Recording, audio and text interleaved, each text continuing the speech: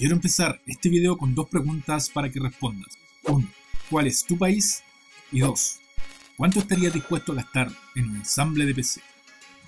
Hola informáticos y amantes del hardware. Hablar de ensambles de PC hoy en día es sinónimo de costoso.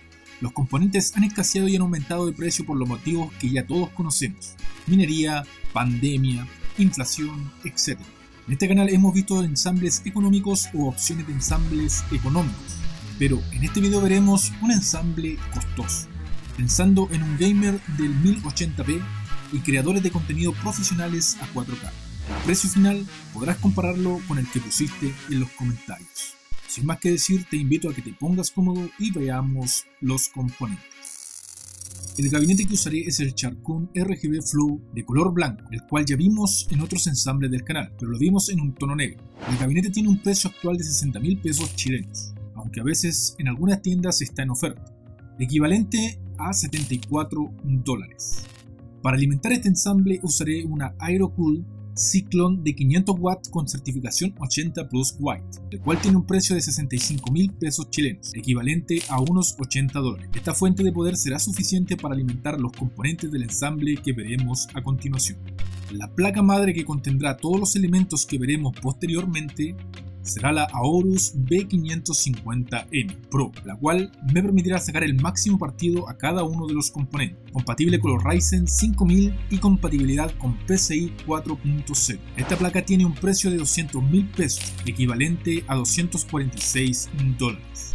El procesador Ryzen 5 5600 tiene 6 núcleos y 12 hilos, una frecuencia base 3700 MHz y un turbo boost de hasta 4600 MHz. Con tecnología de 7 nanómetros, tiene un TDP de 65 watts y la temperatura máxima de operación es de 95 grados Celsius. Además, este procesador está desbloqueado para OVE. Soporta la versión de PCI Express 4.0 y memorias RAM DDR4 hasta los 3200 MHz. El passmark de este procesador es de 22.154 puntos, cual lo deja en el puesto 180 del listado de procesadores del mercado. El precio de este procesador es de 320 mil pesos chilenos, equivalente a 394 dólares.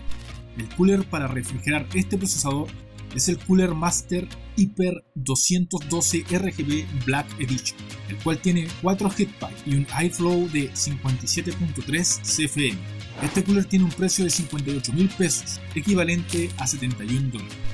En cuanto a la memoria RAM, utilizaremos un kit de 32 GB de la marca Corsair, las cuales son RGB a una frecuencia de 3600 MHz. Este kit de memorias tiene un precio de 200 mil pesos, equivalente a 246 dólares. La tarjeta de video a utilizar es la Asus Dual RTX 2060 de 6 GB de VRAM GDDR6, cual tiene una frecuencia base de 1395 MHz y un turbo boost de hasta 1785 MHz, una memoria de reloj de 14000 MHz y un total de 1920 CUDA. Esta GPU tiene un passmark de 13875 puntos y ostenta el ranking 61, y si la comparamos frente a la RTX 3090, que tiene un passmark de 25974, no podemos hacer idea de la diferencia. Esta tarjeta tiene un precio de 700 mil pesos chilenos, equivalente a 862 dólares. En cuanto al almacenamiento principal, para instalar el sistema operativo y programas, es un NVMe Aorus PCI 4.0 de 1 TB, el cual más adelante veremos las velocidades que alcanza. Tiene un precio de 121 mil pesos chilenos, equivalente a 149 dólares. Para almacenar todo tipo de archivos que puede utilizar un creador de contenido, usaremos un HDD 8 TB este HDD tiene un precio de 224 mil pesos, equivalente a 276 dólares. El precio total de este ensamble salió 1.945.000 pesos, equivalente a 2.395 dólares. También para comparar y que les sirva de referencia a ustedes, busqué los productos por Amazon, donde el total, considerando envío e impuestos, si fuéramos una persona de allá, un total de 2.251 dólares, lo cual, en nuestro caso particular de Chile, no es mucho la diferencia. Serían 144 dólares menos, equivalentes a 117 mil pesos chilenos. Terminada la contabilidad, los invito a ponerse más cómodos ya que veremos el ensayo.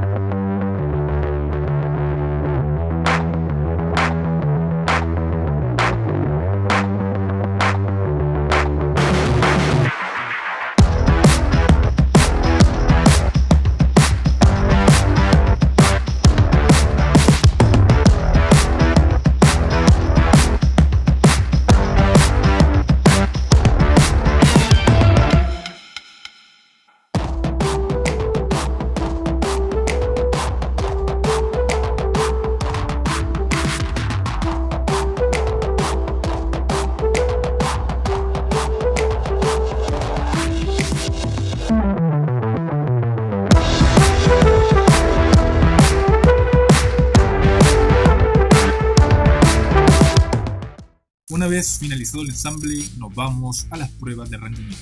En cuanto a la potencia de la CPU, en pantalla podremos observar los resultados de la prueba sintética de Cinebench R15, R20 y R23.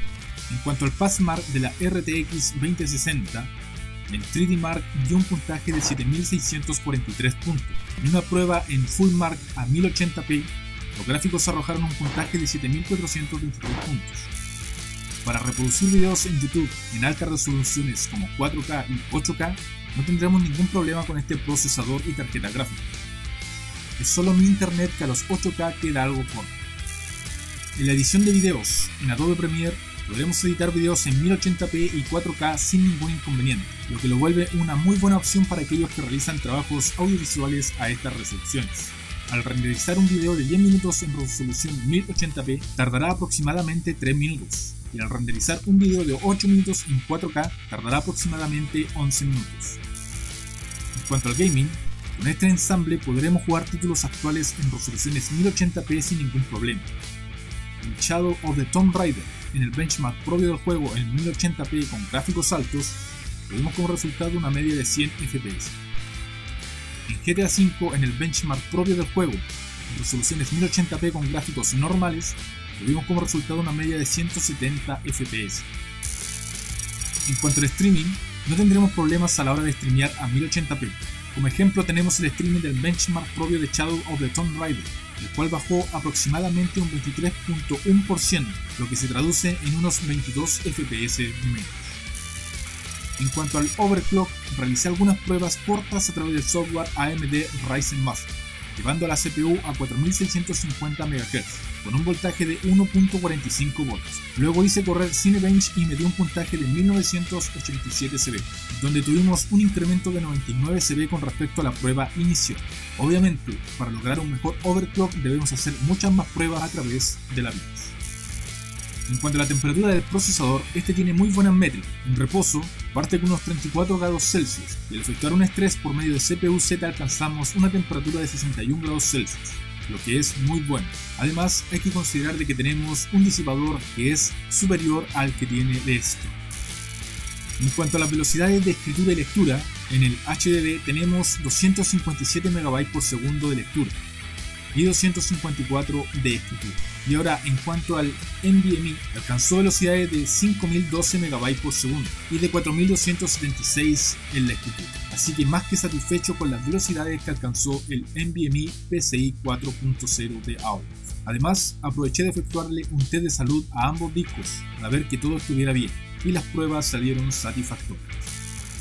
En cuanto a los comentarios finales, este ensamble es una muy buena alternativa para los usuarios más exigentes, ya que la gran mayoría de gamers utilizan la resolución 1080p para jugar, los creadores de contenido podrán editar tanto a 1080p y 4K con esta configuración de hub. Además tenemos un gran almacenamiento, tenemos un NVMe muy rápido para poder trabajar fluidamente y paralelamente tenemos un disco duro con alto almacenamiento para guardar todos los contenidos que creemos. Si te ha gustado este video te invito a darle like, a comentar y a responder las preguntas que te hice al inicio. Sin más que decir, me despido. Si te gusta el contenido de mi canal te invito a suscribirte y te dejo otro video que te puede interesar. Nos vemos en la próxima.